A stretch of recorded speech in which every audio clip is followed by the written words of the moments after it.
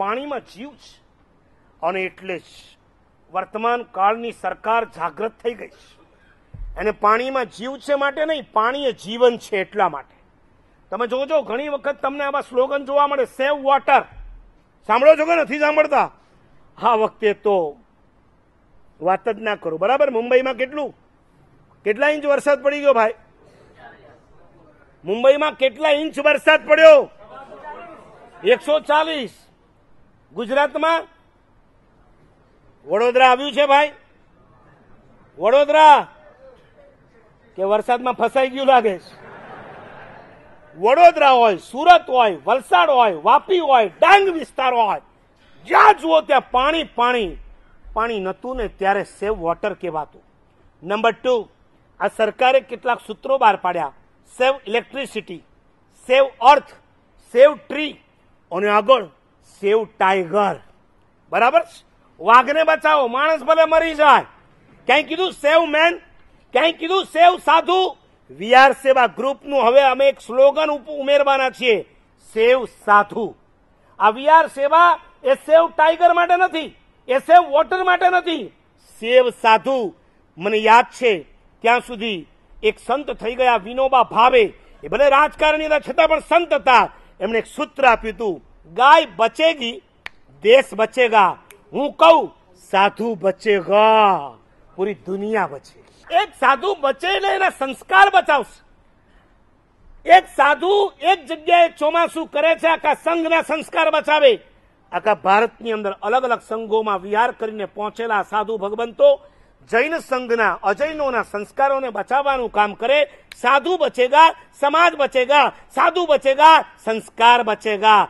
તમને કહું, એક પાણીની શું કિંમત છે ને તમને ખબર નથી. સાધુને ખબર છે. એટલે જોજો, એક સાધુ જ્યારે કાપ કાઢતા હોય ને, કાપ એટલે ખબર છે?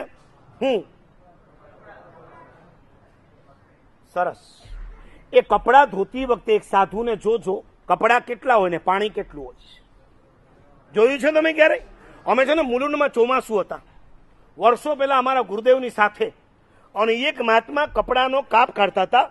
અને એક બેન એની વહુને લઈને અમારા ગુરુદેવને વંદન કરવા આવ્યા. વંદન કરી, પાછા રિટર્ન હું મારી જગ્યાએ બેઠો હતો. એમાં એ બેનની નજર ઓલા કાપ કાઢતા સાધુ મહારાજ પર પડી. અને સાધુ મહારાજને જોઈને પોતાની વહુને કે, જો જો, કપડા આમ ધોવાય, ડોબી, કપડા આમ ધોવાય. મેં આ સાંભળ્યું. મને થયું ડોબી ઈ કે ડોબી તું? જો એને નથી આવડતો, તું એને હુકમ લઈને આવી. ડોબી તો પેલા તું કહેવાય.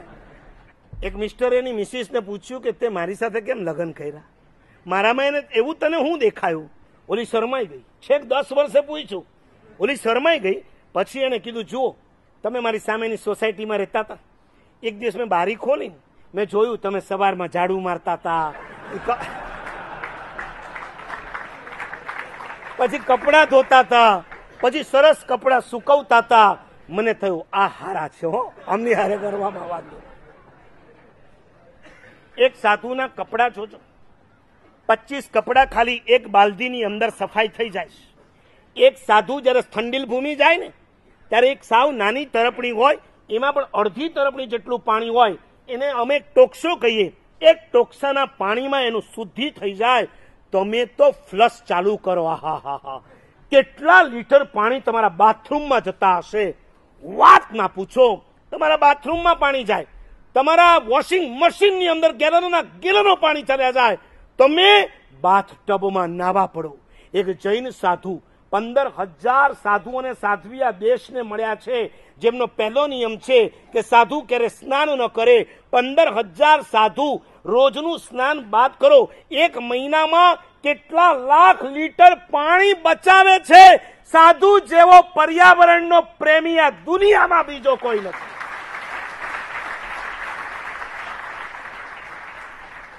ક્લાઇમેટની શુદ્ધિ કરવામાં સૌથી વધારે કારણભૂત કોઈ હોય જૈન સાધુ.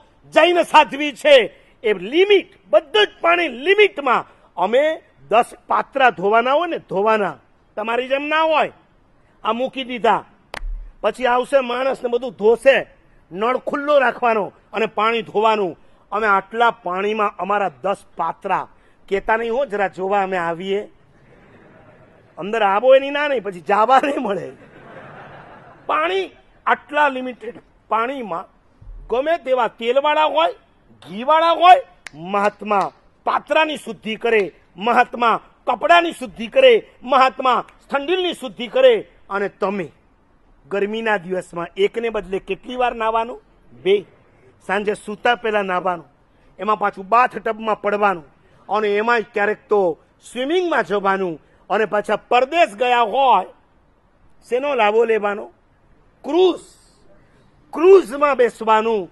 વિચાર કરો, તમારા જીવનમાં તમે પાણીની કેટલી વિરાધના કરો.